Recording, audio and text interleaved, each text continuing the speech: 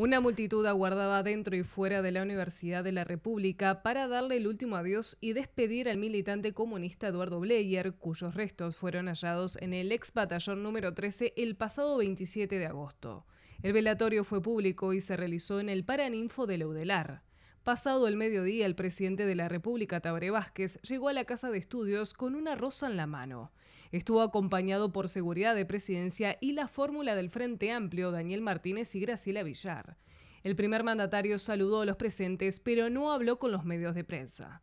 Mientras el coordinador del Grupo de Trabajo por Verdad y Justicia, Felipe Michelini, emocionado por la situación, habló del largo camino que tienen para encontrar la verdad. No ha sido fácil porque hay una lógica de negación de los hechos, de em, mentiras permanentes, de distorsión de la realidad, de construcción de una cultura de impunidad que eh, en forma más que perversa no solo los, secuestraron, torturaron, mataron, asesinaron, sino que además los hicieron desaparecer por 44 años.